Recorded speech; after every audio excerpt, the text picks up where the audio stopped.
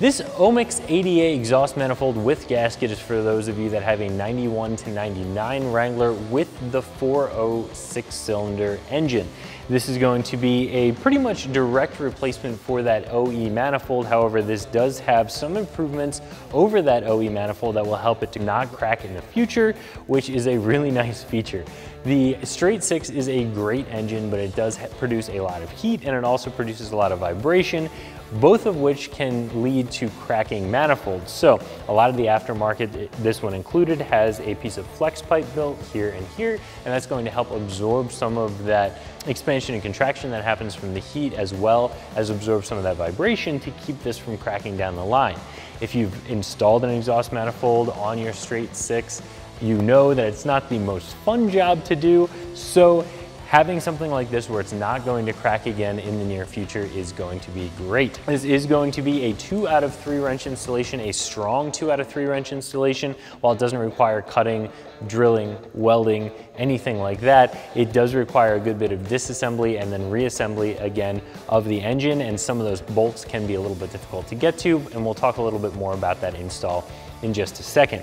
Now from a price perspective, I do think this is gonna be pretty fairly priced. There are gonna be some other manifolds out there that have flex joints like this that may be a little bit less money. Some of those are not going to include your gasket, so you do have to keep that in mind. But even ones that do include the gasket, they might be a little bit of a thinner material, not as well finished. Some of the welds might not be as, uh, as strong, have quite as much penetration, just creating weak spots where you can end up with issues down the line.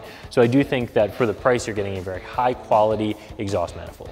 So like I said, this is gonna be pretty close to an OEM replacement manifold, but it does have the flex pipe built into it, which is something that you're definitely gonna want, especially if this isn't your first time replacing one of these manifolds. This is going to come with the gasket. That gasket is shared by both the intake and the exhaust manifolds. Uh, you are going to have to pull that intake manifold off to be able to get to all of your bolts anyway. So while you have everything apart, you'll have a nice fresh gasket that you can put in, make sure you're not gonna have any sort of vacuum leak when you go and start up the Jeep again.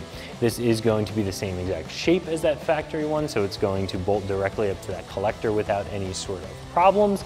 And this does come with your two uh, studs for positioning it in place. It does come with two new studs and nuts. However, the rest of the nut and bolt hardware is going to be reused from your factory.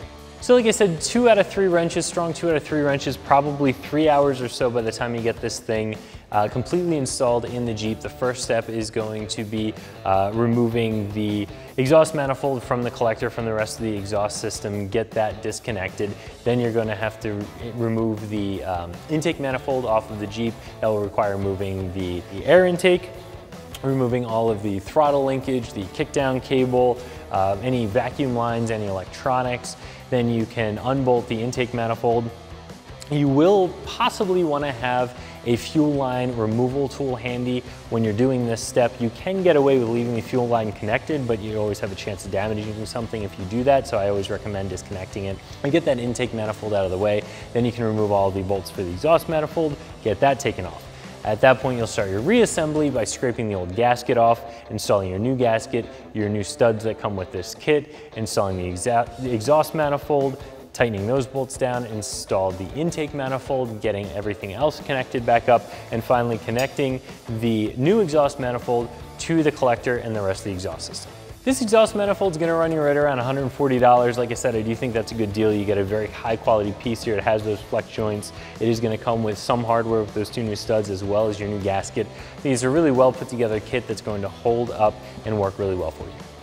So if you're looking for a replacement exhaust manifold kit for your straight six, I think this one from Omix ADA is an excellent choice and you can find it right here at extremeterrain.com.